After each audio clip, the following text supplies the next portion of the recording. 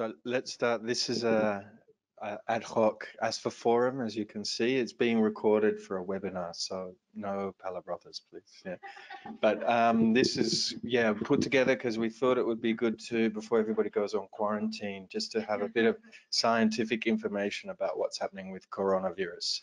See, I see.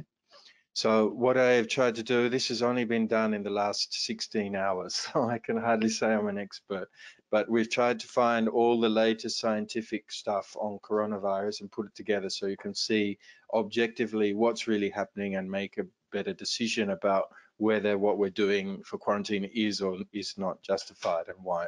So we can discuss that at the end. So I'm just going to present what I found. This is not everything because I didn't have time to do everything one of the things that is missing is maybe what are the studies being done with the new treatments and so on to really take it to the next level, vaccines and stuff like that. We may even expand this in the next week or so. You'll see at the end, we're going to stop this part when we get to the regulatory part because I think it's very interesting to know what procedures are in place for this kind of situation at the EMA and the FDA and stuff like that, because that's also very interesting and relates to some projects that we do do here. So let's start coronavirus. So here's a, just a pastiche of some random pictures to show you where we are, infection and so on. This one I put here, this is a very personal one. This is a picture of a statue in Perth, which was a site of an old bathing place, let's say, where the, the Swan River is. And it's a statue that they've left there. And there was a big rush on the supermarkets on the weekend. Everyone bought all the toilet paper made a joke and said these are the last two rolls left in Australia. and yesterday, it's not only here. Yesterday I did go to the supermarket and there was very little toilet paper and very little canned tomatoes. So now we know what everybody's eating for the next two weeks. Okay, so here's a couple of just front pages of papers that announce more or less the virus and the disease. So it's important to make this distinction. The virus is actually called SARS-CoV-2, so SARS coronavirus 2. It's not called COVID-19, so you'll see that name in the newspapers and stuff, but that's the disease. The disease is called coronavirus disease 2019 okay, which is caused by the virus. So you can see here the diff two different papers reporting on that. Um, the first one started coming out already at the beginning of the year. This one is from an association which gives the proper name and nomenclature, which is now agreed, more or less. Okay, so what we're talking about here is the Riboviria uh, realm. The family is the Coronaviridae family. This is a particular genera called the beta coronavirus. So if you're looking for the levels, I thought this was quite a useful picture to know exactly where you are. So primates would be here and we're down on the individual level here, but this the SARS virus is already on the individual level here. Okay. So this as well is a really interesting and very useful figure, I think, from this paper. I tried to indicate the papers where possible so you can check the data that I'm giving you if you need to. So this is a really good chronogram on day by day number of cases at the very beginning of the outbreak. So what you can see here is, especially this period here, right at the end of the year, you can see some of these cases starting to be reported to the Chinese medical authorities. There's a lot of talk about this um, medical practitioner, Dr. Zhang, who I believe died of the, the disease uh, after reporting it, and there was some controversy over how he was treated in that situation. But basically, you can see here, these blue bars represent um, dates of cases by onset. So they suspect these are cases. They may have been confirmed retrospectively, but basically some pneumonia cases started coming up here. This Dr. Zhang made some alarm to the authorities. They obviously traced it very quickly to the um, market Wuhan and they shut it down very quickly on New Year and then they began to identify and do everything for the virus. So you can see here, the virus was identified on the 7th of January. And after that, you can see there's a lag of maybe about two weeks, let's say, between getting a diagnostic test. So then you can see this orange bar starts to come up. So this is also called a lag phase. Um, you'll see another graph which shows an effect of the lag phase. So this is obviously clinical symptoms, clinical cases, and then purely diagnostic cases. And obviously the WHO um, interventions and so on starts coming here and the shutdown and so on. So maybe here as well, what's interesting to see is you get a peak and then you get the shutdown and the peak starts going down. And that's really what the quarantine is about. I didn't have time to put the figure on because I was rushing a bit, but there's a concept here which is called flattening the curve. And that's basically what the quarantine is about. If you don't do this, this just goes up and that means more and more patients. So you try and reduce the curve. They're not trying to stop it completely, but if you do that, you reduce the burden on the healthcare system. And that seems to have worked in China. I think this uh, graph is also interesting. It's from the same paper. This is basically a parallel timeline chart of the SARS outbreak in 2002 and the COVID-19 outbreak now. So you can see how parallel it is, almost frighteningly so. So this is obviously winter time in China, November, December, new flu case emerging. In this case, it was in another part of China. Um, it took a lot longer for the Chinese authorities to report the case to the authorities here, and they were widely criticized for that at the time. So it's three, four months. There were already 300 cases and several deaths before it got going. And you can see things started off um, and then disappeared quite quickly. So even by the middle of the year, it was more or less stopped. And I'll show you another graph on that later, which I think is very important to also understand what's happening now. So here you can see this was reported later uh, sorry, detected first later and then reported earlier. So we're kind of already squeezing up this graph here. Maybe the difference as we'll show is this one keeps going on, okay? So this is a little bit about the virus itself. You'll recognize this from uh, another ASFA forum that we did, but this is an expanded version. So this is the structure here. As this you can see, it has the spike proteins that make this kind of layer uh, around the outside that looks like the corona, the crown, so that's why they get their name. This is a real EM of, of this SARS-CoV-2. This, this is another one from Wikipedia, probably, sadly. So this type of virus, um, it's a positive strand RNA virus, so that means you need to detect RNA for the genome. You'll see that for the testing that I mentioned a bit later. The genome size is about 30 kb which is very big for an RNA virus. And I will show you the genome and some things there. Usually you get a variable number of open reading frames, 6 to 11, which are the genes, let's say, and these can make multiple proteins, as you'll see. Uh, usually the transmission is from animals, so I will show you a little bit about that as well.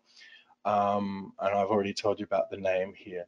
So in terms of the risk to people, the coronavirus in the current uh, legislation in Europe, the Directive 2054 EC, which is about workplace safety for biological agents, that classifies this as a class two. So Laura, is she here? Yeah, she knows all about the difference between BSL, class, risk group, and so on. But just for simplicity, let's call it BSL 2. But what the WHO has published is that if you're propagating this virus in the lab, it's BSL-3, but if you're just doing a test, it's BSL-2, like the guideline says.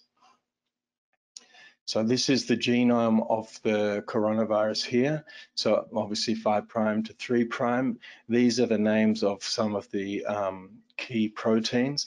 But what you get here, as you do with most viruses, you get what's called open reading frames. So you get one here essentially, that encodes multiple what's called NSPSs, so non-structural proteins. So these are proteins that help it hijack the cell, replicate, and so on. And then you get structural proteins here, which make the spike things and you know all that kind of stuff. You also have some accessory genes spiked, uh, included in the genome at different positions as well. Okay. So if you do a family tree looking especially at this gene here, this ORF1AB, so this is obviously AB because it has all of these things. So all of these things are separate proteins within the main master gene. And, and this gene here, you align all these up and you get the family tree of the SARS virus. So what you can see here is the first SARS from 2002. Here's the new SARS virus here, so it's kind of related in the same family. MERS seems to be a little bit more divergent, which is probably good because it seems to be much more pathogenic. And here are also four orange viruses, which are standard cold and flu viruses. Every year coronavirus goes around And I assume this is also one of the reasons why they're a bit concerned of this, because if this enters, maybe every year it's going to come around like a common cold, for better or worse. I guess as well, there's also risk of recombination. This MERS, as we'll see, is still active. So maybe if this and this infects the same people, that could be an interesting situation. That's probably very unlikely, but it may happen. You may have seen as well some reports in the, in the literature about pangolins. I won't even describe what they look like, but pangolin is a kind of animal from Malaysia, especially I think in, in this case. But basically they suggest, though I don't think it's been confirmed 100%, that the virus is related to the pangolin version of the virus because they might have been sold in the market. So that's one of the current hypotheses. Um, so we mentioned SARS briefly. I think we showed these graphs in ASFA forum, but it's worth bringing them out again. This is what happened in SARS. You remember we showed the beginning here. It started off in November, a few cases here, and then it was reported, and somehow they managed to stop everything by isolation and all that kind of stuff, treatment. So by the end of May, June, the same year, or within six months, that was it. There's been no reported cases since, as far as I know. So that's interesting from that level as we'll get to the case before. I'll go through some of the other numbers as well as we get to them, but here we have about 8,000 cases of SARS, 700, 800 deaths in 37 countries. It seemed to have come from bats and palm civets. I don't even know what a palm civet is. Does anyone know what a palm civet is? I guess it might be a kind of monkey thing or something. I really don't know what it is. Um, and the receptor it uses to go into the cell is the ACE2 receptor, which is angiotensin converting enzyme 2 receptor with some other ones. And it appears that the current SARS virus actually recognizes the same, um, the same receptor. So that was already last week or something. Um, so looking at MERS, um, I presented this as well in the other ASFA forum, and this is also important. So this came much more recently, and it seems to peak every so often and then disappear, but never quite. It's always active. So it's actually still active virus in principle. This is from 2019, so the end of 2019. So it's also circulating in some countries that also have quite a lot of um, COVID-19 cases as well. So that's kind of interesting. This one came from dromedary camels. And in this case, it appears to be much more uh, lethal, 2,500 cases, nearly 900 deaths in 27 countries, which is quite high. But I'll, again, I'll show you those numbers better in another slide. So here's this the high-end summary then. So there's three main coronaviruses that cause um, serious infections, let's say. These are the SARS, MERS, and now COVID-19. So the, the, the symptoms from these are more or less all the same. You get fever, cough, and lower respiratory tract infection, and maybe you'll get um, pneumonia, for example. So for the current uh, SARS virus, you have poor clinical outcomes with older age and underlying health conditions. I'll show you the numbers there so you can see what that looks like. Um, you usually have to confirm the infection by nucleic acid testing, usually from respiratory tract samples like a throat swab or some sputum or something like that. Um, obviously, there's a risk here of confusing the same kind of infection with a common cold and other influenza. It's the season, so that's why the diagnostic is also important. And that's also probably causing a bit of chaos as well because people don't know if you've just got a cold or you've got SARS or you've got something. Um, at the moment, there's no treatment, so that's it. They're developing treatments, but there's nothing more or less you can do. I think one of the risks is if you are in the hospital with intensive care, the saturation of intensive care could increase uh, mortality rates if that gets too high. Okay, so here's a breakdown of the symptoms that you get. 90% of people have fever, so I would suggest if you start feeling a fever, you should go into isolation. If you have a runny nose, I would probably still go into isolation, but probably you haven't got SARS because if you look here somewhere, almost never causes runny nose, which is kind of interesting. But you'll get um, a dry cough, which other people have reported, fatigue, muscle pains and stuff like that, which are probably as a result of fever and stuff like that. Um, so they're the main symptoms that you should expect. If you have that, you should follow the procedures from your country, okay? Um, one of the issues I'll show again, the numbers, the severity can be very high, and that means the demand on the ICU is very high, and that containment is basically about protecting the healthcare system. Um, see if we can get one of these maps. These are being updated daily. So we can see there's plenty of different versions. So this is still from yesterday. You can see where the clusters of cases are and so on. So we're going to move in on Spain just to see where we are. So you can see Barcelona is a bit of a red spot, more than 50 cases. Well, actually, Lleida, no, it looks like. No, not even. It's in the middle of Catalonia. So there must be a camping ground there with SARS or something like that. So, but anyway, you can see the numbers here. These are being updated regularly. It's important to know that some of these cases are not always confirmed. Usually on these graphs they are, but these kind of situations, you need to be careful about what kind of data you're looking at. You, I don't think I've got the graph here, and I didn't get time to look at it, but there was a spike in cases a few weeks ago in China because they changed the reporting thing, and then they changed it back again, so it looks really weird. But that's what I mean. You have to be careful looking at this data. But at the moment, we're looking at about 120,000 confirmed cases.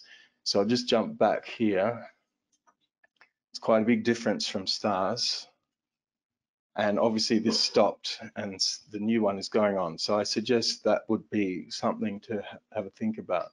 This one is obviously much less, but it's been going on for much longer. So that's the first kind of data to start looking at. This data is being published from Chinese patients. This is one of the first main uh, reports coming out. So just go through the age distribution. You can see here that we're mostly young people in this room, We're all in this age bracket essentially. That doesn't mean we're immune. We could still get it very easily. So don't think you're immune and it's just old people, okay? Old people do and so on. Young people do not do get the disease as well, but they do not seem to be as severe. But there also seems to be a, slightly less cases as well in the young people. Why that is, it's hard to say, maybe the zone. Uh, the spectrum of the disease is also pretty critical since 5% of cases are critical, um, that's quite high because they're obviously all needing ICU and stuff like that. Severe cases as well probably need some kind of hospitalization. So that's quite big numbers really. Uh, this is probably the number that most people get worried about, and I'll show you some proper data on this. This is the case fatality rate, the CFR. At this stage in this paper, they estimated it to be 2.3% in China. But when you have a look at the numbers, this is where you start seeing how this interacts. So it's 2.3 across the board, but once you get over 80 years old, you have about a 15% chance of dying, which is pretty high, okay?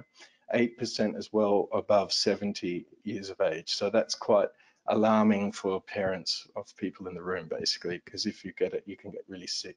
Worse is 50% of critical cases have mortality. So that's 5% of cases of uh, uh, severe or critical, according to this. So that means um, of these people, 1,000 would have died, more or less, which is quite high as well.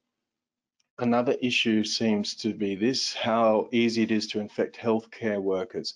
I didn't have time to reinforce this issue, but one of the things I think that is different so far with this in favor of the current situation is that there doesn't seem to be outbreaks in hospital situations. And I think with SARS, that's what was happening, that they were getting infected people coming to the hospital, infecting the doctors, infecting the nurses, infecting the patients. And actually, um, don't quote me, but one of the reasons why this may have happened like that is because it was localized in hospitals in those zones and they could stop it more easily in that way. And one of the things that may be in favor here is that that situation um, doesn't seem to be happening. Whoops, where are we going here? Okay, um, yeah, so still it's quite high, the number of uh, healthcare workers, and we mentioned the Dr. Zhang, I think his name was, who died at the beginning. Okay, one, one of the other numbers for virus infections and pandemics they always bring out is the R0 or the R0 value, which is the basic reproduction number. So this basically means if the number is less than one, the disease will die out because you're, less people are infected by you than who have the disease, i.e. less than one. So if it's more than one, that means one person will affect more than one person, okay? So the seasonal flu has a very low, relatively uh, uh, R0, which is 1.2. So that means every five people who have flu, will there'll be six more that will get infected, which is not great, but it's fine. But if you think of measles, it has an uh, R0 of 12. So if you think about that one kid in a class of 30, that means 12 people. If you have three infected kids in a class of 30, more or less, they're all going to get sick. So that's pretty high.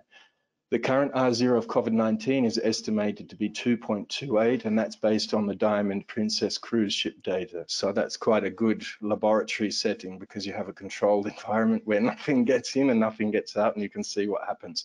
So that looks basically from here that it's going to be at least double the infectivity, let's say, of a standard flu. So that's already something important. Okay. Another factor is the doubling time. So this is um, how long does it take for the number of cases to double. So at the moment, the whole data set, including China, is 19 days. So if you take out China, it's five days, which is quite low. And the reason for the difference is that China already had the quarantine for some weeks and the numbers are going down. So actually, they, they skew the, the overall doubling time to much higher, okay?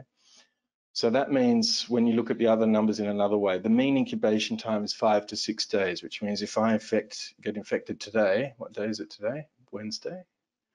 Wednesday, Friday. So Sunday, Monday, I'll probably start getting sick, more or less. But it could be longer, it could be two weeks, it could be less. Um, if I get sick on Sunday, usually I'll be sick for around two weeks, something like that. So that's why the 14 day quarantine is imposed because that should cover both of those situations more or less. There will be extremes, of course, but you can't cover all of that. But that's one reason why 14 days. Quarantine, if anyone didn't know, comes from quarenta, which is 40 days. That was the old ships in the black bubonic plague days. So 14 days might seem long, but it's better than 14. Okay, so here's the CFR stuff again. Um, so we mentioned this before, this is the case fatality rate. This tells you how lethal a virus is. So here's some context. Ebola has about 50%. In some outbreaks, it's been 90%. That's pretty, pretty high, not really good. Bubonic plague obviously is a guess, 60%, so on. SARS was already 10%, which is pretty high, and MERS was 35%. So that's very, very high still. Spanish influenza has been estimated to be about 10 to 20%, and one third of the world's population was infected. So that's also very high, and the numbers were big, but there's lots of other factors there for why so many people died as well, which we can discuss. Um, the normal seasonal influenza value is less than 0.1%. So if you're comparing, looking at the COVID data here, you can see different numbers from different peoples. The current global estimate from at least this report was 3.4 which is moderately high considering it's a seasonal kind of virus. The US values were much higher and have gone down. Again, I mentioned this um, lag effect, which is basically between having cases and having a proper diagnostic kit available and then implementing things. So basically here, the number of cases is not so clear and then they get clear that there's more cases than they thought. So the number just drops kind of artifactually, something like that. Italy currently has a very high death rate. Not clear exactly why that is. It may be because it got into old people more easily somehow. It wasn't very checked, so maybe that's one of the reasons for that. South Korea, for example, has a very low CFR for, for the same disease. So we'll have to see how the data pans out, but for the moment, let's assume it's around 2 to 3% CF, CFR. But compared to influenza, that's quite high. So it's one of the myths that people say, oh, it's just like influenza, but it's not. It's more infectious and it's probably more lethal. Okay, so here's some of the general CFR kind of data. So at the top, you can see Spanish influenza, which has an estimate estimated 25 to 40 million people who died from the influenza. There's some reports that go up to 100 million people, which is extreme. Um, most of the flus that have come since then are very little. The standard flu is 400,000 per year, so that's quite low compared to this, obviously. I can't remember what the current death numbers were from, from the current outbreak. Uh, it doesn't say. So here we had 2.3, so already a thousand. So it's still a long way to go to get to this level, but still, if if it's as high and everyone gets infected, then that's one of the things. Okay. Um, so diagnosis, obviously clinically you can be diagnosed, but you need to have a proper test because you might have a confounding disease, an infection or something. So the current test is a nucleic acid amplification test, a NAT or NAT, depending how you want to say it. So this is an RT-PCR test, so it's an RNA test for a viral RNA because we mentioned before it's an RNA genome, basically. That's one of the things. Um, so usually they have two primer pairs in some of the different genes, the specific genes I mentioned before, which are designed to be uh, discriminating between this coronavirus and other coronaviruses. There's also a control primer that is to related viruses as a, in case you have cross-reactivity, basically. So there is a WHO coronavirus technical guide for testing if anyone wants to have a look at that. There is also the US kit that came out by the FDA uh, a couple of weeks ago. There was a few issues with this apparently because the negative control wasn't working properly, so they had inconclusive data. So that also was not helping the US situation at the time. As well, I think there was a lot of confusion about who can do testing, etc., etc., and that hasn't also helped. Okay, so testing can also have other problems because um, are you doing it just on patients who got the symptoms? Are you screening for patients to look to isolate them? For example, the more testing you do, the more burden you have, you know, that kind of thing. You can miss a lot of people and so on. So that has a big impact too. There will be a serology test at some stage, cross-reactivity, whether it's neutralizing and so on. Um, and I previously mentioned the biosafety stuff here. So it's BSL2, 3, and there's obviously issues for transport of samples as well. Okay. Um, and that's as far as I got. I didn't get it to get treatments. But basically, the take-home message is more infectious than normal flu, about double the infectivity rate. The CFR, the, the case fatality rate, is also higher by at least tenfold, maybe up to 40-fold so that's quite high and it's even more so in old people. So one of the things i didn't mention about spanish flu was that that killed young people. This killed old people. So the impact of spanish flu was much bigger for that reason. The other thing to remember is spanish flu was at a time when world war one was on and also there was low antibiotics. Maybe diagnostics was not good. So even though people traveled slower it still got around the world. And there was also two peaks. There was initial one November, uh, December, and then another one after summer when winter came back again. So even though this is happening now and we may go into quarantine, it may be fine, there will be concern after summertime that there is a second wave coming back. Um, the other thing that we don't know is how good your neutralizing antibodies are against this virus because there is coronavirus around every year in winter maybe you've already had one, but maybe those antibodies don't work. This is a new type, as we saw on the tree. Maybe that's different types of binding, etc. So we cannot assume that pre-exposure to other coronavirus is helping. So this means there's no herd immunity, basically, which is probably another reason why they're concerned. Influenza, they don't block off cities, for example, for influenza. One of the reasons is there's antibodies, uh, sorry, vaccines, previous exposure, their death rate is low. Everybody knows that it's not too bad, let's say. Um, but in this case, I think one of the reasons for having this excessive response is twofold. One, unknown factors, but two, looks like it's worse than a normal flu from these early numbers. And three, social media probably doesn't help because like Australians, you know, you see one person buying all the toilet paper, you have to do the same. So that kind of thing is also, so it's kind of like a, virus going viral, so to speak. So that's um, where we are. Maybe next time we can talk about um, how this is, stuff is regulated, like vaccines, for example. Everyone keeps saying they're going to bring out a vaccine in one year. How can you do that? Well, maybe next time we can say, how do you do that? And, and how does it work? Because there's a lot of concepts here. For example, imagine I had a vaccine for coronavirus and now there's an outbreak. What kind of clinical trial do I do to test that it works? Because the design can be a bit interesting. You can't always hope to get a big cruise ship full of people and go and vaccinate them in isolation. The same with Ebola, like how do you do those kind of vaccine trials and things? But we can do that next time, um, I think. So any questions? Quarantine, anyone? Is anyone scared? A little bit? Sick of it already, yeah. Sorry?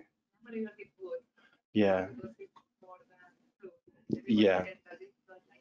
No, I think the evidence is clearly it's worse than a flu. And I think as well, the, the consideration is that if it keeps getting bigger, the demand on society is bigger. And we've already seen it doesn't take much and things start collapsing. So we will see.